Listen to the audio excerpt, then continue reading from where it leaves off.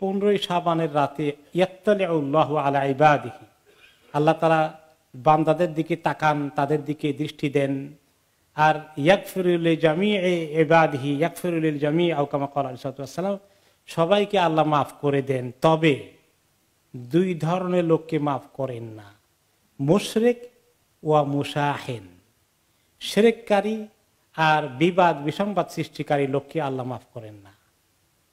এই দুই কিসিমের লেকচার সবাইকে আল্লাহ মাফ করেন। এই হাদিসটা ব্যাপারে বলা হয়েছে, ইবনি হাব্বান বলেছেন হাদিসটি সহিহ। কিন্তু মেজরিটি মুহাদ্দিসিন যারা হাদিসের পারদর্শী এক্সপার্ট তারা বলেছেন এই হাদিসটি দাইফ আর মানে দুর্বল, টিকে না সনদে। আর একাধজন নাসরুদ্দিন আলবারি সহ কেউ কেউ বলেছেন হাদিসটি হাসান। যে সহিনা আবার দৈব না, মাঝখানে একটু হাসান মানি একরকম কনসিডারেবল তো সেই হাদিস যদি নেন, তাহলে এই হাদিসে কিছু এবাদত করা যায়, ফজিলতের অধ্যায়ে। যদি খুব সহি নাও হয়, তাও আমল করা যায়। কিন্তু আমলটা কীভাবে করতে হবে? মসজিদে জমায়েত হয়ে সবাই মিলে এলাকার মসজিদে জমায়েত হবে, সারা রাত এবাদত করবে। এইরকম কোন হাদিস, কোন দুর্বল হাদিসেও নাই। ব্যক্তিগত নফল এবাদত যেভাবে তাহাজুদ পড়ার কথা, সেরকম পড়ার কথা আজকে রাত্রে অ্যালাউড আছে, গতকালকেও অ্যালাউড ছিল, আগামীকালকেও অ্যালাউড আছে। বছরে তিনশো পঁয়ষট্টি দিন কোনো দিন নিষেধ আছে এবাদত করতে? না। তা আজকে রাত্রেও আপনি এবাদত করতে পারবেন। কিন্তু কত রাকাত নামাজ? তো এই যে রাকাত, এত রাকাত পড়তে হবে আর এই এই সুরা পড়তে হবে, এইটা কোন হাদিসে পাওয়া যায় নাই। তাহলে আপনি ফ্রি আছেন, আপনার কয় রাকাত পড়তে মনে চায়? কেউ আপনাকে নিষেধ করতে পারবে? ন যত রাকাত মনে চায় পড়েন। দুই রাকাত, চার রাকাত, ছয় রাকাত, আট রাকাত, চালান। কিন্তু নফল নামাজ যেভাবে পড়তে হয়, মনোযোগ দিয়ে লম্বা সুরা করে যদ্দূর পারেন করবেন। চালান যতক্ষণ আপনার মনে চায়। কোনো নিষেধাজ্ঞা নাই। সালাতুল্লাইলি মাথনা মাথনা রাতের নামাজ দুই রাকাত দুই রাকাত করে কত রাকাত পড়তে হবে, কোনো ফিক্স করে দেননি কোনো সময় রসুল্লাহ সাল্লাহ আসলাম কোন নামাজকে ফিক্স করেন নাই। নফল নামাজকে তিনি টাকা নির্দিষ্ট করে দেন নাই। এবং তিনি কত রাকাত পড়েছেন, এত রাকাত পড়েছেন এই খবর একটা হাদিসে যদি পান, আমার কাছে একটু আমাকে দেখাবেন। জিজ্ঞাসা করবেন যে কোন, কত রাকাত পড়েছেন আর কোন কোন সুরে দিয়ে পড়েছেন, হাদিসটা একটু দেন। কোনো জায়গা নেই। তা বিনা হাদিসের জিনিস ফলো করব কেন? ফ্রি যেটা আপনার ভালো লাগে, সেই সুরা পড়েন। এই রাকা, এই রাতে আর কি কি ফজিলত বলা হয়েছে? এই রাতে রিজিক বন্টন হয়। এই কথা বলা হয়েছে না? বরাতের, বরাত মানে কিসমত। হ্যাঁ বেশি করে খাইলে তো সারা বছর আল্লাহ বেশি করে দিবেন। এবং বরাতের রাতের কবিতা বাংলা সাহিত্যে পড়েছিলাম আমরা, কোন ক্লাসে জানি? ভাগ্য রজনী, মনে আছে? ভাগ্য রজনী। এই কথাটা পুরো কোরআনের খেলাফ, হাদিসের খেলাফ কথা, অন্যায় কথা। কারণ স্বয়ং আল্লাহ তালা কোরআনে পাকে বলেছেন। আমি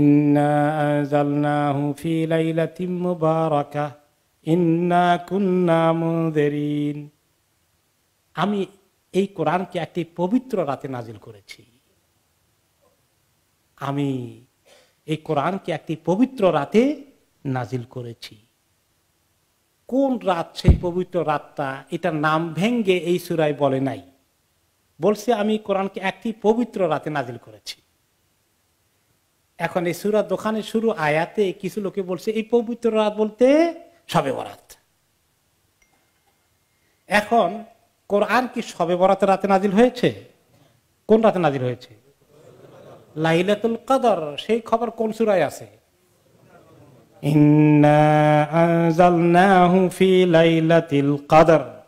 আমি কোরআনকে নাজিল করেছি লাইলাতুল কদরে। আল কোরআন ইফাসির বাদহু বাদ। কোরআন নিজেই নিজের তাফসির করে আরেক জায়গায়। সুরা দোকানে বললে একটা পবিত্র রাত নাজিল করেছি, কোন পবিত্র রাত কোন নাম মেনশন করল না।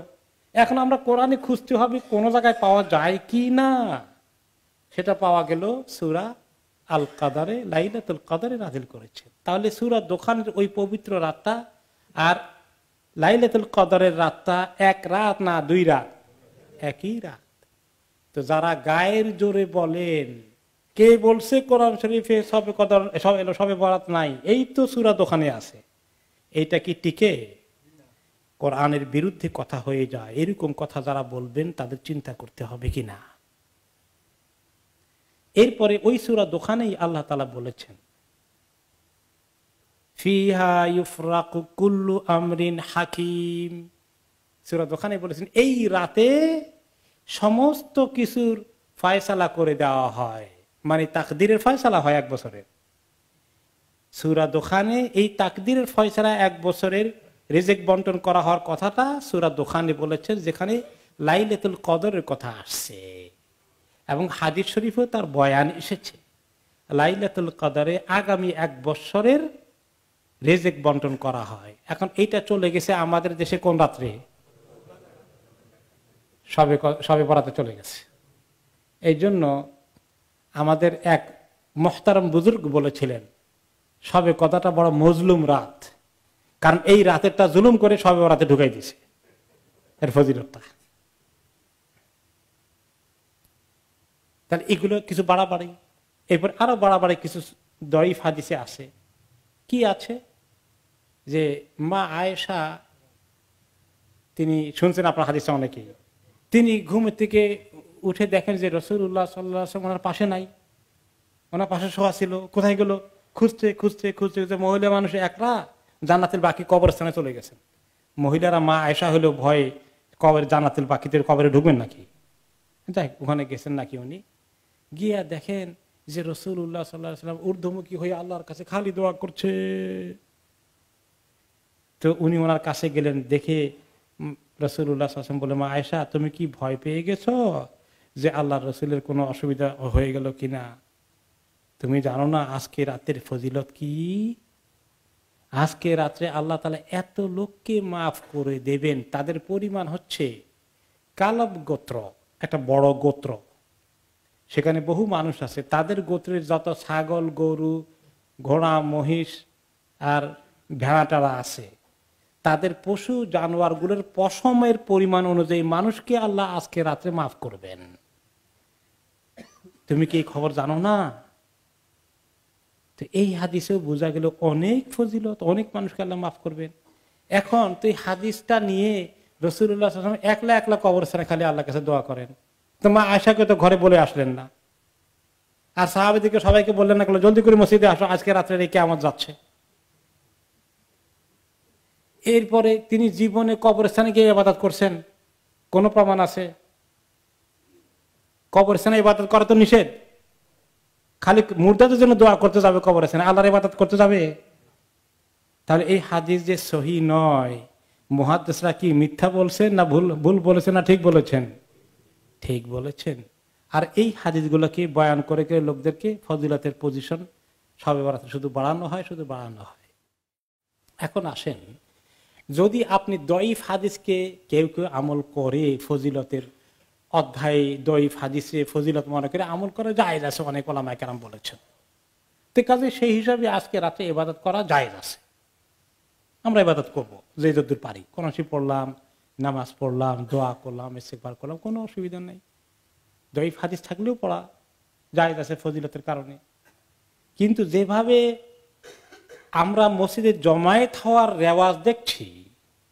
এইভাবে কি নবী করিম সাল্লাম সাহাবিদিকে মদিনায় জমায়েত করেছিলেন?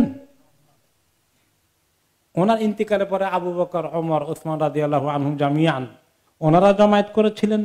যারা ইতিহাস পড়েন, সিরাত পড়েন বাড়ি করেন দেখি। তাহলে এবাদত করাটাকে জমায়েত হওয়ার জন্য এইরকম রমরমা, খাবার দাবার, তারপর হালুয়া রুটি কবর জিয়ারত, কবরস্থানে বাতি জ্বালানো, এই রাতের নাম বাত্তির রাত। আমি যখন প্রথম আসছি আমাদের এলাকায় বাত্তি রাত বলে না আর কি। তো এক ভাই আমাকে জিজ্ঞাসা করেন, বাত্তির রাত কবে, ইমাম সাহেব? আমি বাত্তি রাত কি জিনিস? বাত্তি রাত চিনেন না, ইমাম সাহেব? তা তো চিনি না। আমি বুঝতেই পারিনি। পরে অনেককে জিজ্ঞাসা করে ওটা আবিষ্কার করলাম, সবে বরাতকে বাত্তি রাত বলে। কেন বাত্তি রাত বলে? কবরস্থানে মোমবাতি জ্বালাইতে হয়। এই খবর কোন হাদিসে পাওয়া গেছে? যেগুলো হাদিসে নাই শূন্যতে নাই, এগুলো আমল করা শূন্যত হবে না বেদাত হবে? বেদাত হবে। এরপরে আপনাদের এলাকায় বাত্তিরা ঢাকা শহরে কি আছে? পটকা ফুটানো পটকা ফুটানো। বলেন তো যে কেউ ঢাকা শহরে সবে বরাতে রাত্রে অবস্থান করেছেন কিনা কোনো সময়? কে কে অবস্থান করছেন? হাত তুলেন। পটকার আওয়াজ কেমন পাইছেন? বাজি ফুটানো? সিলেটেও আছে। আল্লাহ। আমি আমার গ্রামে পাই নাই, ঢাকা শহরে পাইছি, সেখান থেকে মনে করছি বোধহয় ঢাকা শহরেই শুধু। কি রকম ফায়ার ওয়ার্ক এই দেশে যে করে সেলিব্রেশন করে, এই এই রকম রেওয়াজ শুরু হয়ে গেছে। এর সঙ্গে বলেন, এবাদতের কি সম্পর্ক আছে আমাকে বলেন। কোথায় কোরআন, হাদিস, কোথায় আমাদের লোকদের আমল চলে গেছে? এগুলো নিয়ে আমরা লোকদেরকে সতর্ক করি যে দেখেন এবাদত করবেন, ঘরে বসে করেন। আচার, অনুষ্ঠান, রমরমা, মসজিদের মধ্যে বিশাল সারা রাত্র জেগে থাকতে হবে। এরপরে সেখানে হালুয়া রুটি বিতরণ করতে হবে, বিরিয়ানি পাকাইতে হবে। আমাদের গ্রামের মসজিদে বিরিয়ানি পাকানো আর খাওয়া নিয়ে কয়েকবার দরবার মারামারি হয়েছে সব রাতে রাত্রে তাহলে এবাদতের নামে আমাদের সমাজে অনেক কিছু প্রচলিত হয়ে আছে, যেগুলো আমাদেরকে এলেম শিখে শিখে সহি আমলের দিকে আসতে হবে, নাকি বাপদাদা করে আসে ওইটা ধরে রাখতে হবে।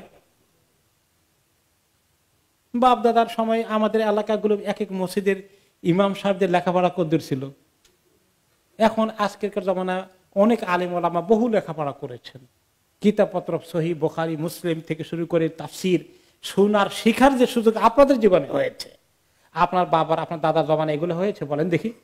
হয় নাই। তারা শোনা কথা কথা যা পারছে দেখে দেখে শিখছে। এখন আমরা দেখে দেখে শিখলে আর চললে হবে, চোখ খুলতে হবে না, লেখাপড়া করতে হবে না। সহি তরিকায় আসতে হবে না। তো এগুলো আমাদের আমলটাকে এই তরিকায় করতে হবে।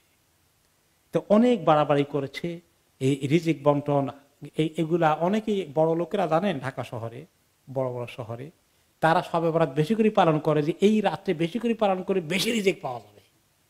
তো তাদের রিজিকে তো অনেকটাই হারাম। সুদ, ঘুষ, ডাকাতি কন্ট্রাক্টারি চুরি, ডাকাতি, তো এগুলো বেশি করে পাওয়ার নিয়ত করে এই রাতে। আমার গ্রামের এক দুষ্ট ছেলে ছিল। ছেলেরা তো দুষ্টমি করে, বুঝেন না। এই দোয়ার মধ্যে হাত তুললেও দুষ্টমি করে।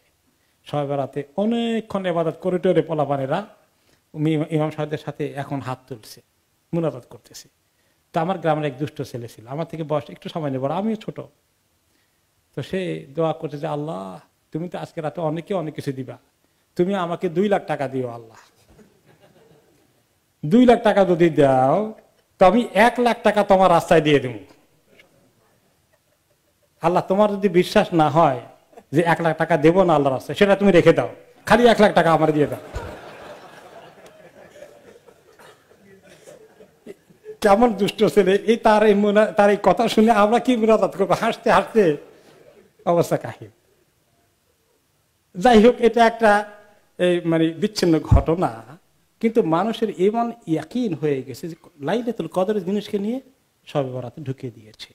এবং অনেক জায়গায় দেখবেন যে সবে কদরের ইবাদতের এত গুরুত্ব নাই। সবে বরাতে গুরুত্ব বেশি। এই বলছি না যে সবে সবে কদল মজলুম রাত, তার এবাদতটাও নিয়ে গেছে সবে বরাতের মধ্যে। রেজেক বন্টন নিয়ে গেছে সেখানে। কেন বেশি এটা যেন পাগল হয়েছে? কারণ রেজেক বন্টন হবে, বেশি পয়সার দরকার, টাকার দরকার, রেজেকের দরকার।